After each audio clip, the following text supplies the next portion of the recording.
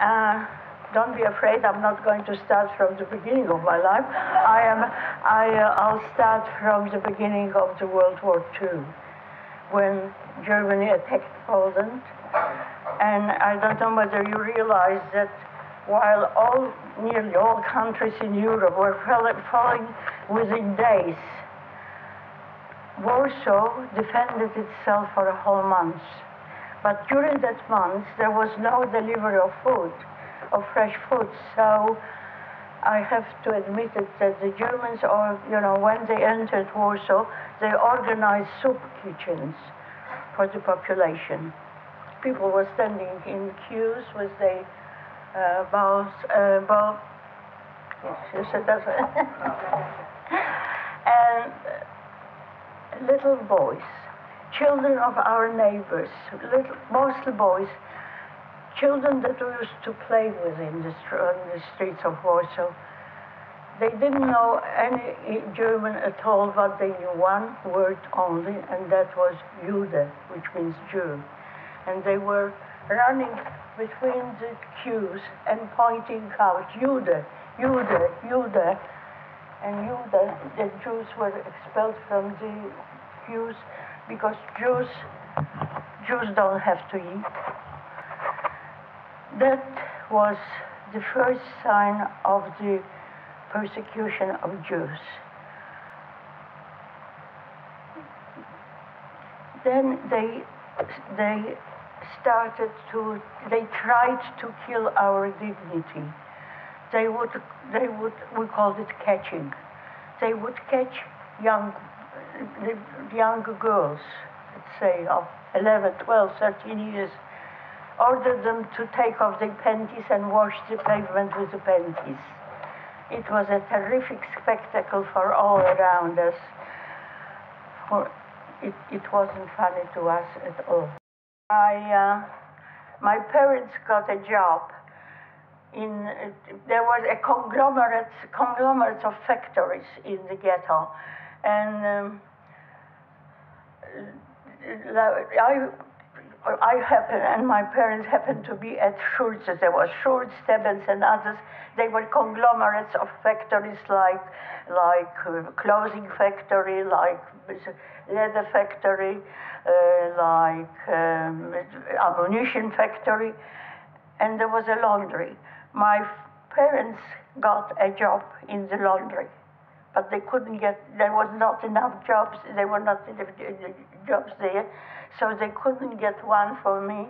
And, but I stayed with my parents, but I was there illegally.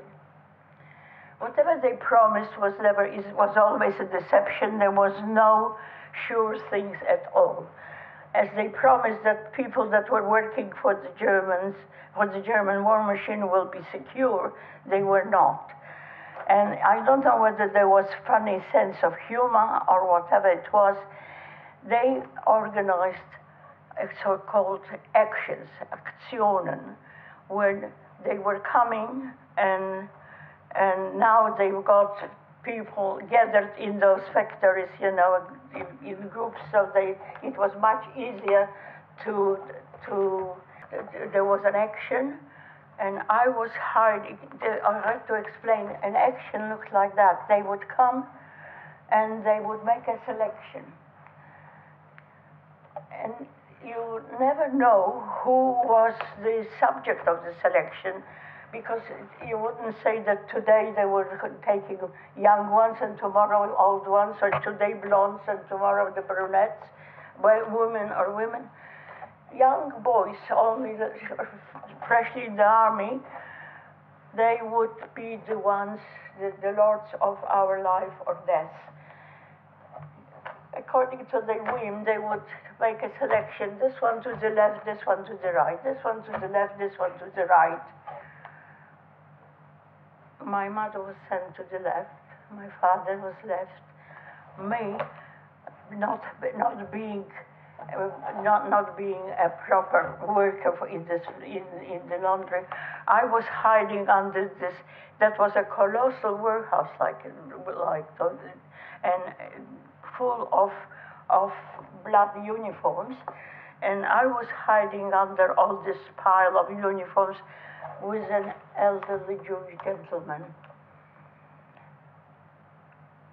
When we came out, the action was finished, we came out, my mother was gone.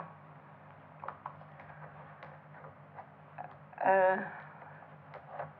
anyway, I took my mother's place in the laundry, and so I was getting my mother's ration of food. But the old man, his whole family was gone, and he he didn't have any food coming. So my father divided the three portions of food that two portions of food that we were getting into three, and the portion was one bowl uh, of of cabbage soup. If you were lucky, you would you could find a leaf of cabbage in it. If you were extremely lucky, you could even find a piece of potato in it. So that was that, and I can't remember now whether it was 100 or, or 150 gram of bread per person. So these two portions my father divided into three, and why I'm telling you about that you'll find out in a few minutes. Next holiday was Yom Kippur, and I was already marching with my father because I was already a working girl, and I was sent to the right, my father was sent to the left. I didn't want to leave without my father, without my parents. So I ran after my father, but they were they all had those pages, pages for whips, you know. Yeah. And I got whipped and I can't remember even how I got back into the laundry. But my father was gone and the old man was gone. But I I was I didn't want to go because at that time my brother was still alive and I thought that it was not fair. He was in a different part of the ghetto, and I'll go to the uh, and I'll cross to the Aryan side, trying to save me, and here he stays in the ghetto, sentenced to death.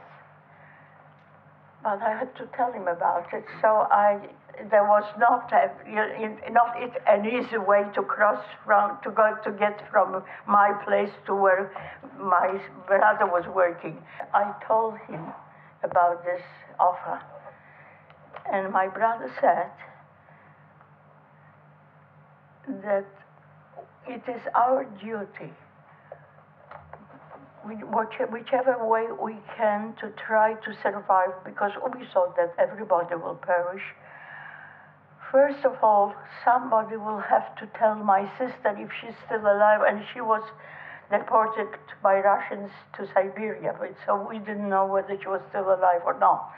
But somebody has to tell my sister what's happening, what happened to her family, and somebody will have to tell the world what's happening here because no one will believe it.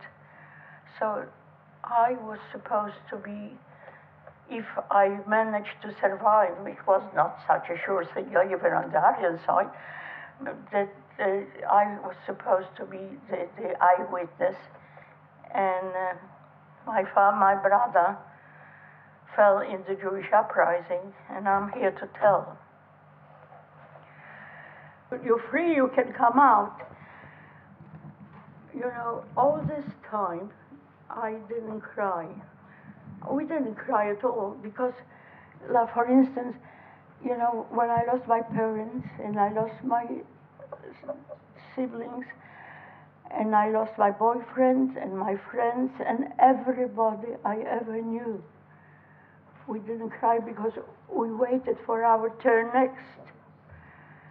But when I heard that I was free and I can leave, I sat there and I cried because in the whole world there was no one waiting for me, no one to go out to.